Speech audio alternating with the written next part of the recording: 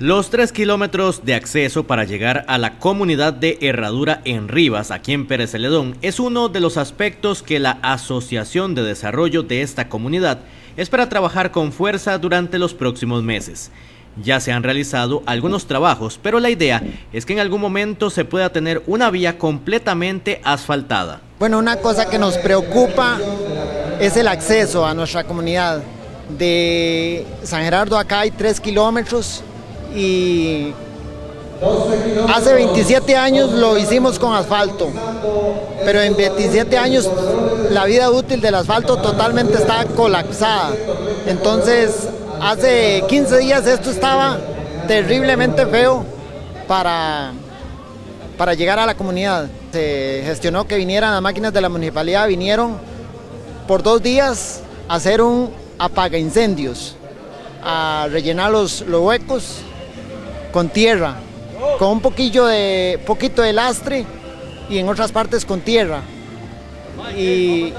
pero nos gustaría que las cosas se hagan mejor hechas, nos gustaría, por, eh, por supuesto que nos gustaría llegar a tenerlo de asfalto estos tres kilómetros.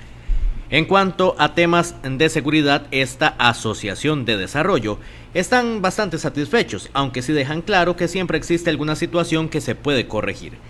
Comparado tal vez con otras comunidades, aquí el, problema no es demasiado serio.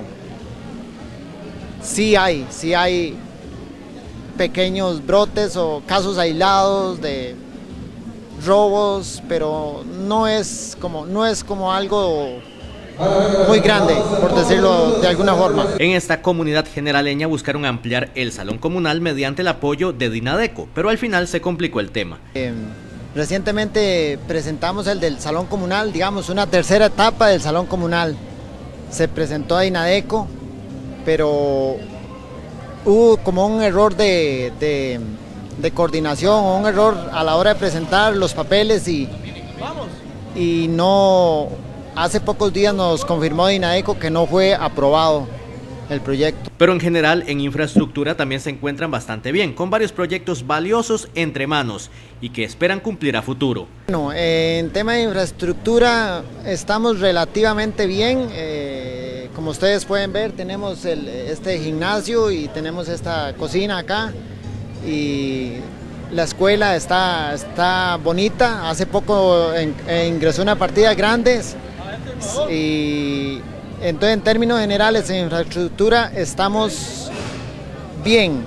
Siempre hay algunos, algunas cosas pendientes. Por ejemplo, aquí a la izquierda tenemos este, un salón para, para reciclaje y a puros rasguños, como decimos en el campo, lo estamos haciendo. Una comunidad que quiere salir adelante, esa es Herradura de Rivas aquí muy cerca del centro de San Isidro del General.